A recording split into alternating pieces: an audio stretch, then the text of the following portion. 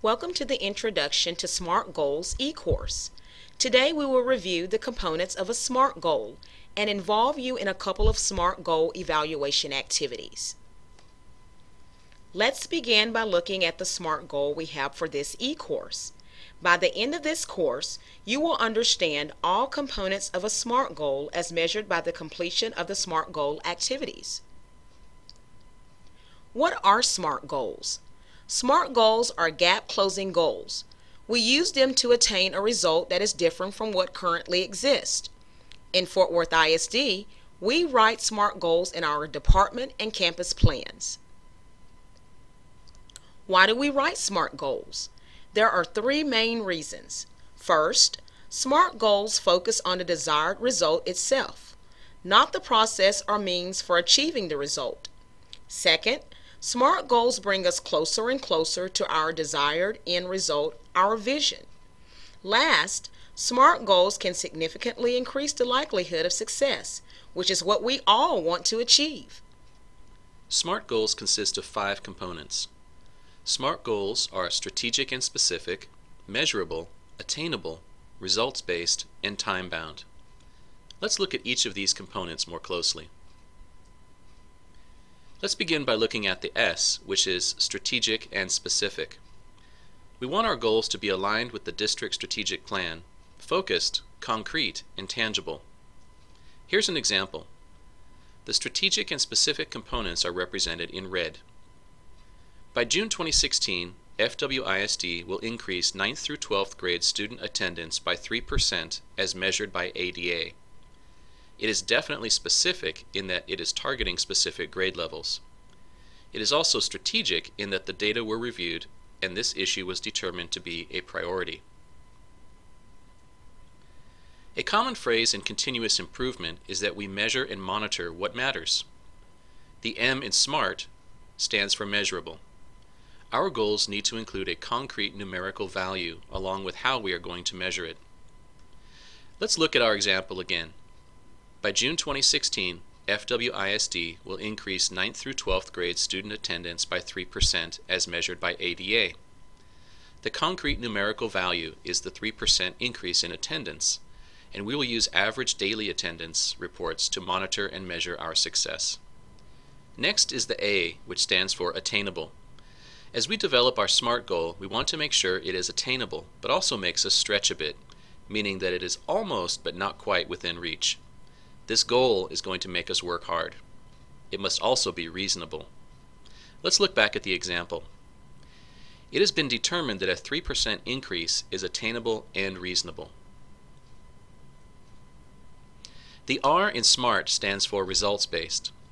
In order to be considered a SMART goal, there must be concrete standards by which to measure it. In our example on the slide, average daily attendance, or ADA, is the concrete standard to be used with this goal.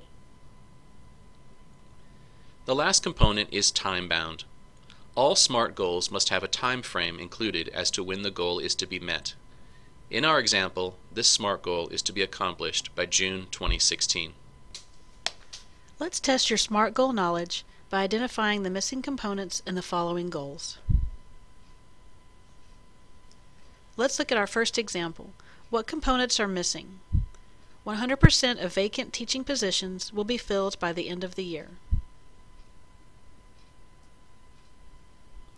Let's look at our second example. What components are missing? There will be a 3% decrease in worker compensation claims filed in Fort Worth ISD by June 2016. Next, let's look at our SMART goal issues. SMART goals are the easiest to write.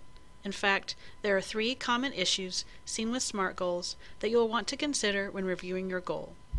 The first issue is the absence of time and measure. Make sure your goal has a date and standard for measure. Another common issue is having way too much information, oftentimes all of the action steps listed within the goal. The how doesn't need to be included in your goal, just what you're going to accomplish. The last issue commonly seen with goals is the inclusion of lead measures within the goal.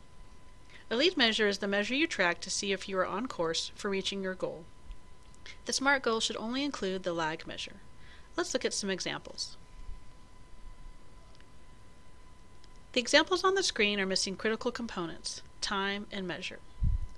The first example reads, there will be a 5% decrease in in-school suspensions at Warren High School as measured by the end-of-year discipline report. This example does not specify a time when it will be accomplished.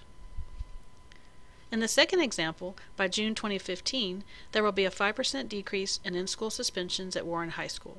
This example does not specify a measure for the goal.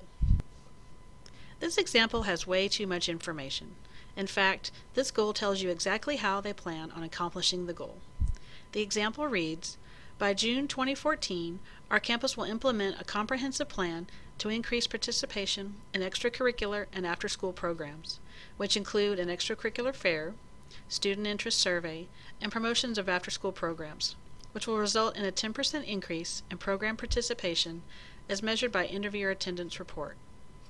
In order to make this an effective SMART goal, you would remove the following pieces. Extracurricular fair, student interest survey, and promotions of after-school programs. Confusing your SMART goal measures with lead measures is the last common issue with writing goals. In the example, all of the lead measures to be tracked are listed in the goal. The example reads, by June 2015, there will be a 20% decrease in discipline referrals for ninth grade students at Forest High School, as measured by OCI referrals, six-week discipline referrals, and six-week out-of-school suspensions. The best action is to rewrite the goal and remove the OCI referrals, six-week discipline referrals, and six-week out-of-school suspensions. As you wrap up this e-course, be sure to identify the annual outcome and review your SMART goal to ensure it reflects the intended outcome. Be sure to also utilize the SMART goal checklist to reinforce inclusion of all components. This checklist can be found on the notes section of the e-course on Eduphoria. Let's take a look at our eCourse SMART goal on the screen.